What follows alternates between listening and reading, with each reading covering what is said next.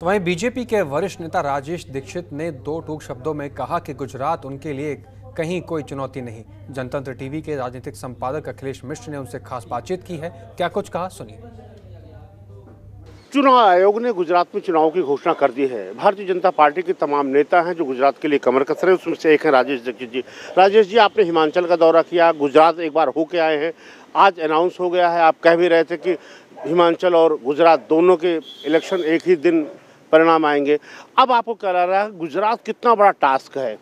गुजरात भाजपा के लिए कोई बहुत बड़ा टास्क नहीं है। गुजरात पूरी तरीके से मोदी में है और गुजरात का बच्चा बच्चा मोदी जी के साथ है। आज देख रहे हैं आप, गुजरात में बड़े बड़े देशों के राष्ट्राध्यक्ष जाते हैं बड़े बड़े राजनायक जाते हैं और गुजरात मॉडल के विकास की तारीफ़ करते हैं, वहाँ के साबरमती रिवर फ्रंट की तारीफ़ करते हैं।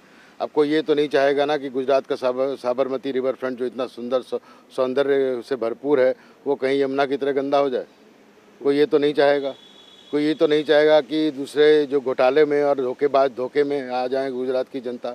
गुजरात की जनता बड़ी सरल और अच्छी सुशील जनता है और वो मोदी जी से बहुत ही प्यार करती है और वो किसी के बहकावे और किसी धोखे और किसी फ़र्क में आने वाली नहीं है और गुजरात की जनता दोबारा से, पिछली बार से ज़्यादा मतों से भारतीय जनता पार्टी को जी विजयी बनाएगी ये गुजरात की जनता का ही संदेश मैं आपको दे रहा हूँ। ये कह रहे कि सत्ताईस साल की एंटी इनकम्बेंसी है कांग्रेस वहाँ बहुत अच्छा कर रही है बहुत सी ऐसी सीटें हैं जहाँ पे भारतीय जनता पार्टी लगातार कम होती जा रही है जीत हार का अंतर कम होता जा रहा है। तो और जिस तरह प्रधानमंत्री जी लगातार गुजरात में समय दे रहे हैं कहीं ना कहीं डरे तो ज़रूर है ना आप?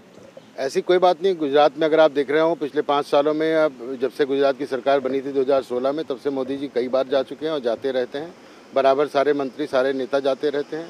ऐसी कोई वहाँ किसी भी सीट में और जिन सीटों में, एक आध कुछ सीटों में अगर कुछ है तो उसकी विवेचना की जा रही है। उसमें कोई संकट की बात नहीं है कहीं से भी।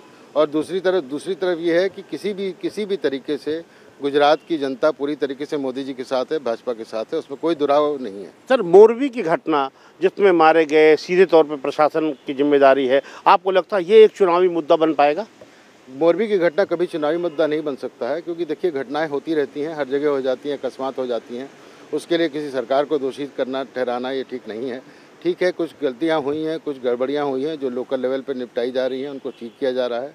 आदरणीय मोदी जी अभी वहाँ होके भी आए, वहाँ के सबका हाल चाल भी लिया है तो उसका चुनाव से कोई संबंध नहीं है। बहुत बहुत ये थे राजेश दीक्षित, जो दोनों राज्यों का दौरा कर रहे हैं लगातार, इनका साफ़ तौर पर यही कहना है कि गुजरात भारतीय जनता पार्टी के लिए कोई चैलेंज नहीं है। भले विपक्ष दावा करे कि प्रधानमंत्री नरेंद्र मोदी ने अपनी पूरी ताकत गुजरात में झोंक रखी है।